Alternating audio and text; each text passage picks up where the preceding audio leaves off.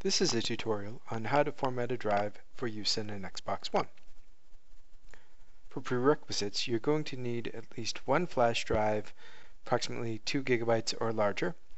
You'll also need another FAT formatted partition that you have access to. Uh, another flash drive, secondary flash drive will also suffice. And of course you'll need the new hard drive to install SATA 2 or 3 2.5 inch drive and you'll need the original Xbox One drive. I'd also like to acknowledge Juvenal and Team Xecutor for coming up with the tools and directions to make all of this possible. We're going to begin by downloading three packages from the web. Uh, try to download them all into one location. I'll have the links in the comments below uh, that you can refer to later. The first package is a tool to create an Ubuntu Live flash drive.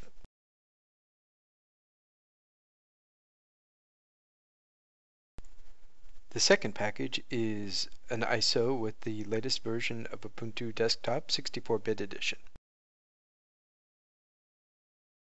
The last package is a zip file containing Juvenal's scripts for formatting the Xbox One hard drive.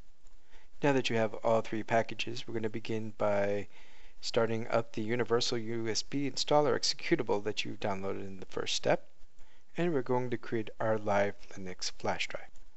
I should add that you need to plug in the flash drive that you intend to install Ubuntu onto at this point. Hit the I agree button in this first dialog.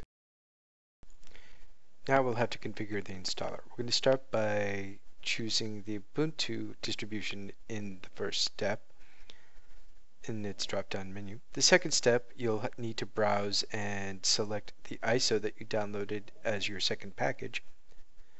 Third step, you'll have to choose the flash drive you plugged in earlier, and you'll also have to select to format the drive.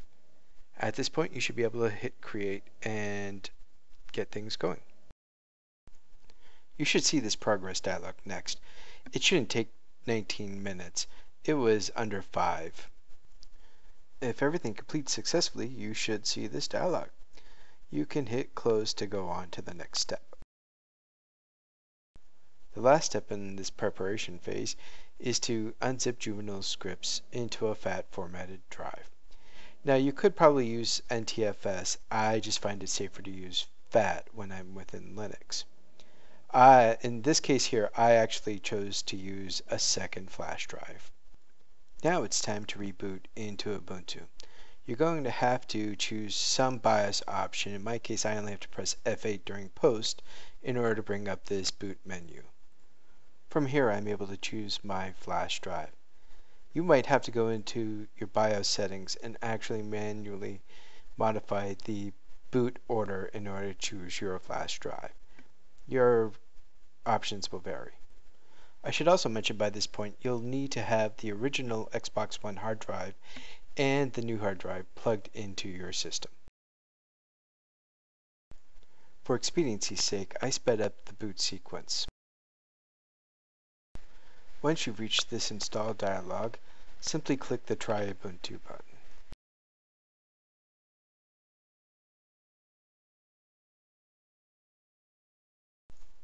Now that we've reached the desktop, our next step is to find the hard drive that we wish to format so that we can find its device name.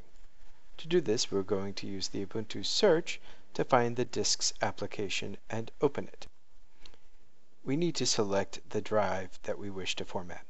You can see here that I have several disks installed on my machine. I have to be very careful to choose the right one. I don't want to accidentally format the wrong drive. With the correct disk selected, we want to find its device name. You'll see here that I've highlighted where it can be found.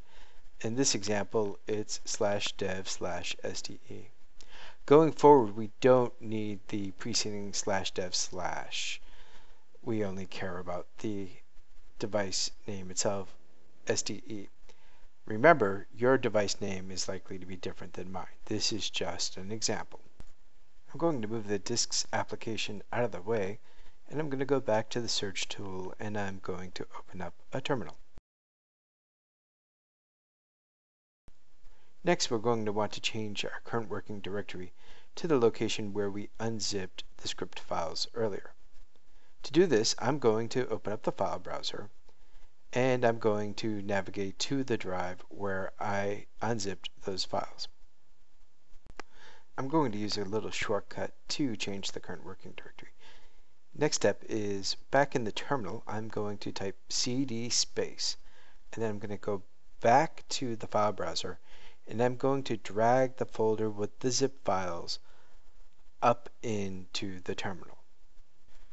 I then am going to hit enter in the terminal, and you'll see the current working directory has changed. The scripts that we want to run require special privileges. To do this, we use the sudo command. And we're going to use Python to run the script named xbox1hdd.py. You can see the exact syntax that I typed into the terminal. The complete command statement should be sudo space python space dot forward slash xbox one hdd dot py. but don't hit enter yet. We need to follow this with the device name that we found in the disks application earlier. Be doubly certain that you've chosen the right device name. Now with the completed command, we can finally hit enter. You'll see that the script notices that the device is not partitioned, and so it generates a script for you that will create the correct partition map. This is a shell script, so we're going to begin with sudo space bash. Don't hit enter yet. We're going to follow this with space dot forward slash mkxboxfs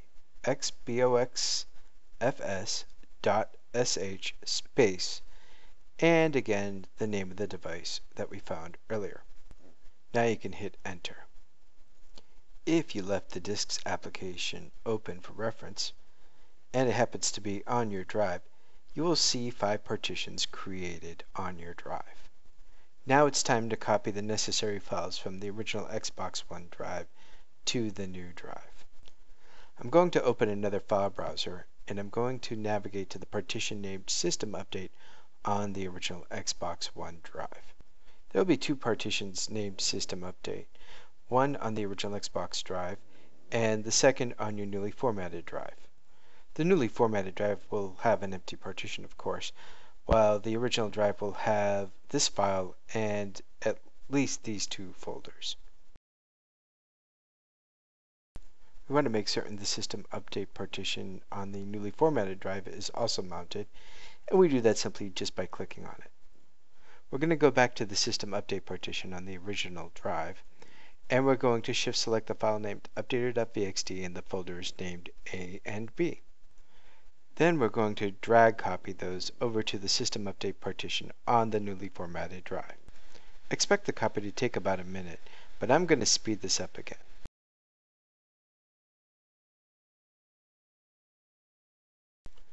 With the copy complete, I'm going to unmount all of the partitions from both drives. To do this, I just click on the little eject button to the right of the partition name.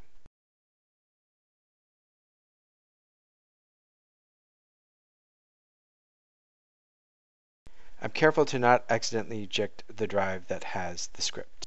We're going to go back to the terminal and we're going to run the first script again. This will do the final preparation on the newly formatted drive. To run the script again, I push the up arrow to go through the command history until I see the sudo python command again. At that point, I can just hit enter. Enter yes to confirm the changes. Your new hard drive is now ready to be installed. You can just simply shut down your computer.